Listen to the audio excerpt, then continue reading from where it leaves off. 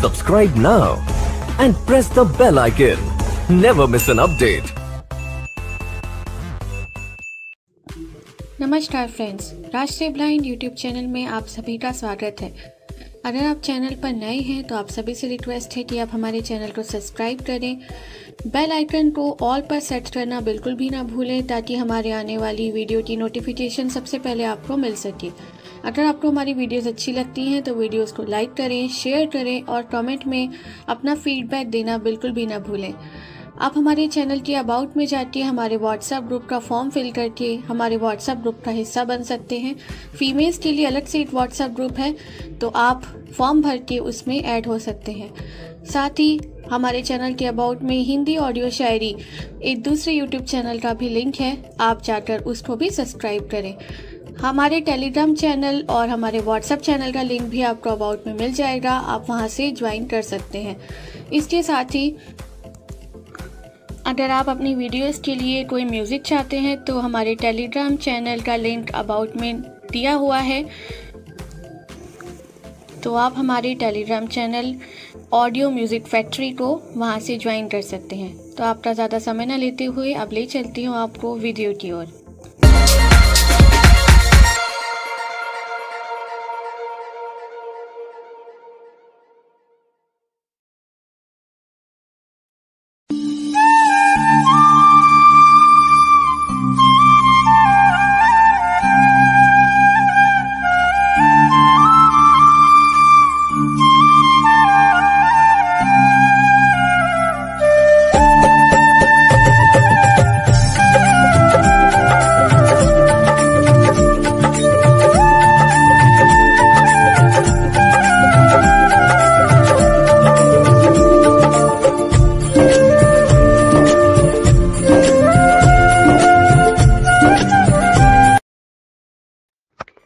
दूसरे दिन प्रातःकाल राजा जनक से महर्षि विश्वामित्र ने कहा, हे राजन, दशरथ के इन दोनों कुमारों की इच्छा पिनाक नामक धनुष को देखने की है।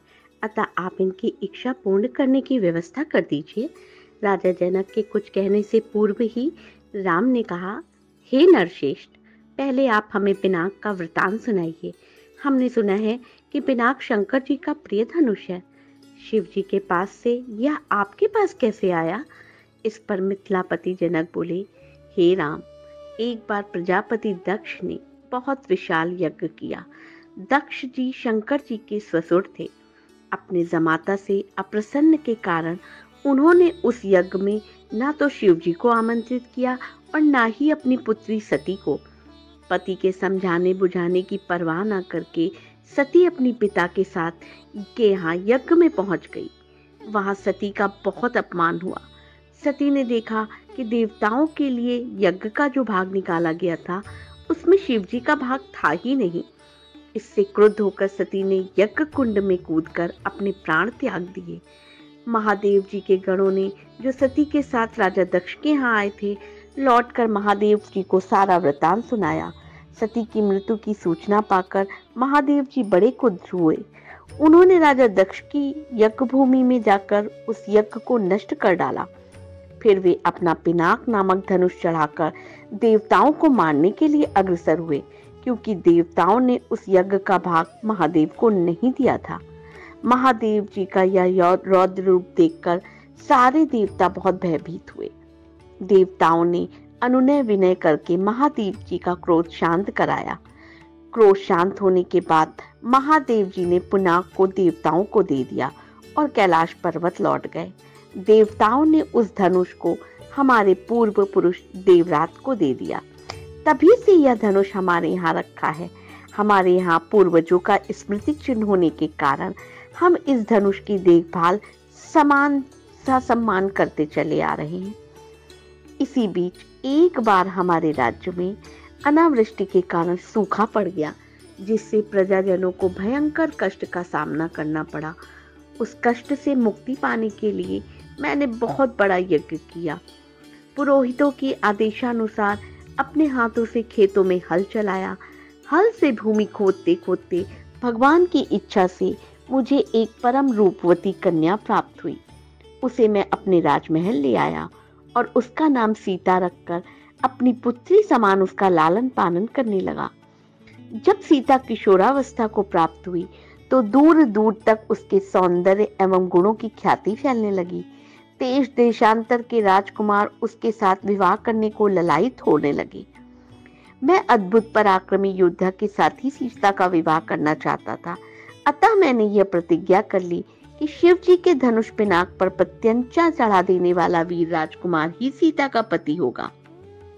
मेरी प्रतिज्ञा को सुनकर सहस्त्रों राजकुमार और राजा महाराजा समय समय पर अपने बल की परीक्षा करने के लिए आए, परंतु पिनाक पर प्रत्यंचा चढ़ाना तो दूर, वे उसे तिल भर खिसका भी ना सके। जब वे अपने उद्देश्य में इस प्रकार निराश हो गए तो वे सब मिलकर मेरे राज में उत्पात मचाने लगे। मेरे प्रदेश को चारों ओर से घेर लिया और निरीह प्रजाजनों को लूटकर आतंक फैलाने लगे। मैं अपनी सेना को लेकर उनके साथ निरंतर युद्ध करता रहा। वे अनेक राजा थे, उनके पास सेना भी बहुत अधिक थी, इसलिए इस संघर्ष में मेरी बहुत सी सेना नष्ट हो गई। इस पर मैंने भगवान को सहारा मानकर उनकी तपस्या की। मेरी तपस्या से प्रसन्न होकर भगवान ने मुझे देवताओं की चतुरंगणी सेना प्रदान की। उस सेना ने आतताई राजाओं के साथ भयंकर युद्ध किया और सभी उपद्रवी राजकुमारों को भगाया। उनके भाग जाने के बाद मैंने सोचा कि एक विशाल यज्ञ करके इस अवसर पर अपनी प्रतिज्ञा पूरी करूँ और सीता का विवाह करके निश्चिंत हो जाऊँ। इसलिए मैंने इस महान यज्ञ का आयोजन किया है। अब जो भी कोई महादेव जी के इस धनुष की प्रत्यंचा चढ़ा देगा उसी वीर पुरुष के साथ मैं अपनी अनुपम गुणवती पुत्री सीता का विवाह करके निश्चिंत हो जाऊँगा। मिथिला नरेश के या वहाँ से विदा हो जाने के बाद ऋषि विश्वामित्र राम और लक्ष्मण को लेकर यज्ञ मंडप में गए। यज्ञ मंडप को अत्यंत सुरुचि के साथ सजाया गया था। उस भव्य मंडप को देखकर लगता था, मानो वह देवराज इंद्र का दरबार हो। देश देशांतर के राजा महाराजाओं के बैठने की अति सुंदर व्यवस्था की गई थी।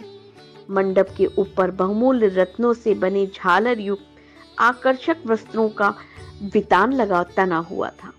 वितान के चारों ओर फहराते हुए पताकाएँ मिथिलापति की कीर्ति को प्रदर्शित कर रहे थे। बीच बीच में रत्न जड़ित स्तंभ बनाए गए थे। वेद पाठी ब्राह्मण एवं तपस्वी शांति पाठ कर रहे थे। देदीप्यान वस्त्राभूषणों को धारण किए राजकुमार अपने अपने आसनों पर विराजमान थे।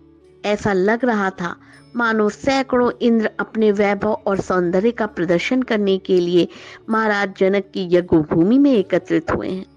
इस सौंदर्य का अवलोकन करने के लिए जनकपुरी की लावणमणि रमणिया अपने घरों के झरोखों से झाँक रही थी। गर्जन तर्जन करते हुए पिनाक को इस मनोमुग्धकारी वातावरण में यज्ञभूमि में लाया गया। सभी की उत्सुक दृष्टि उसी पर घूम गई। सहस्त्रों व्यक्ति उस धनुष को एक विशाल गाड़ी में धीरे धीरे खींच रहे थे। उस विशाल काय व्रज के समान धनुष को देखकर बड़े बड़े बलवानों का धैर्य छूटने लगा और पसीना आने लगा। पिनाक को यथा स्थान पर स्थापित कर दिया गया। राजा जनक के ज्येष्ठ पुत्र सीता एवं उनकी सहेलियों को साथ लेकर धनुष के पास आए और बोले, ही संपूर्ण राज के राजाओं और राजकुमारों, महाराज जनक ने प्रतिज्ञा की है कि जो कोई महादेव जी के इस पिनाक नामक धनुष की प्रत्यंचा को चढ़ाएगा, उसके साथ मिथिलापति न महाराज जनक अपनी राजकुमारी सीता का विवाह कर देंगे। राजा जनक की इस प्रतिज्ञा को सुनकर राजा और राजकुमार बारी बारी से उस धनुष पर प्रत्यंचा चढ़ाने के लिए आए। किंतु भरपूर प्रयास करके भी उस पर प्रत्यंचा चढ़ाना तो दूर उसे हिला भी ना सके। अंत में वे लज्जित होकर सिर झुकाकर तथा श्रीहीन होकर अपने अपने आसनों पर लौट गए। जैसे कि नागराज अपनी मणि गंवाकर लौट आते हैं। इस प्रकार एक एक करके सब राजाओं और राजकुमारों को विफल मनोरथ में लौटता देख महाराज जनक को बहुत दुख हुआ।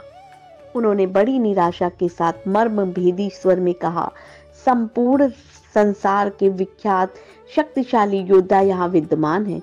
किंतु बड़े दुख की बात है, उनमें से कोई भी पिनाक पर प्रत्यंचा नहीं चढ़ा सका। उनकी इस असफलता को देखकर ऐसा प्रतीत होता है कि पृथ्वी शूरवीर क्षत्रियों से खाली हो गई है। यदि मुझे पहले से ज्ञात होता कि अब इस संसार में वास्तव में कोई क्षत्रिय योद्धा नहीं रहा तो मैं ना तो धनुष यज्ञ का अनुष्ठान करता और ना ही ऐसी प्रतिज्ञा करता। लगता है मेरी पुत्री सीता आयु पर्यंत कुमारी रहेगी, परमात्मा में उसके भाग में विवाह लिखा ही नहीं। महाराज जनक की बात सुनकर उन सभी राजाओं और राजकुमारों ने, जो अपनी असफलता से पहले ही लज्जित हो रहे थे शुद्ध मन से दृष्टि नीचे झुका ली। राजा जनक के द्वारा की गई इस भटनाश का उनके पास कोई उत्तर नहीं था। परंतु अयोध्या के छोटे राजकुमार लक्ष्मण को मिथिलापति द्वारा समस्त क्षत्रियों पर लगाया गया लांछन सहन नहीं हुआ। कुपित होकर उन्होंने अपनी भक्ति चढ़ा ली और तीखे शब्दों में बोले, हे मिथिला के स्वामी राजा जनक आपके ये शब्द सर्वथा अनुचित और सूर्य कुल तथा रघुवंश का अपमान करने वाले हैं। आश्चर्य है, आपने ऐसे अपमानजनक शब्द कहने का साहस कैसे किया? जहाँ प्रतापी सूर्य कुल का साधारण व्यक्ति विद्यमान हो, वहाँ भी कोई इस प्रकार तिरस्कार भरे शब्द कहने से पूर्व अनेक बार उस पर विचार करता है। फिर यहाँ तो सूर्यकुल के मणि श्री रामचंद्र साक्षात विराजमान है।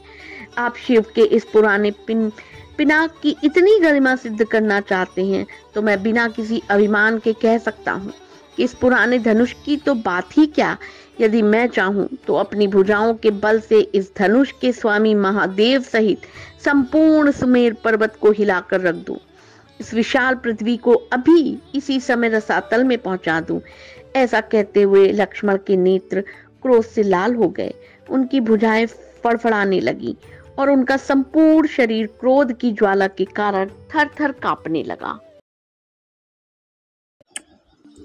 तो इसी के साथ रामायण का नौवा अध्याय, यानी कि रामायण का नौवा एपिसोड भी समाप्त होता है।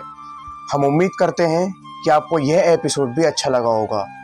अगर आपको अच्छा लगा है तो वीडियो को लाइक और सभी लोगों के साथ शेयर ज़रूर करें। और हाँ चैनल पर पहली बार आए हो तो चैनल को भी सब्सक्राइब करें। और बेल नोटिफिकेशन को ऑल पर सेट करें जिससे कि हमारी हर वीडियो की नोटिफिकेशन आप तक सबसे पहले पहुँच सके। अगर आप लोगों ने अभी तक रामायण के बाकी के एपिसोड नहीं देखे हैं तो डिस्क्रिप्शन बॉक्स में रामायण की प्लेलिस्ट का लिंक है। तो आप लोग वहाँ से क्लिक करके देख सकते हैं। चलिए गाइस मिलते हैं हम अगले रविवार, ठीक सुबह 11 बजे रामायण के दसवें एपिसोड के साथ। तब तक के लिए आप लोग देखते रहिए राष्ट्रीय यूट्यूब चैनल थैंक यू